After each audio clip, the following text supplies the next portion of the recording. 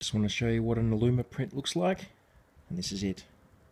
This is a metre wide long print of Albert Park Lake, and are available in four different sizes. This is captured early in the morning.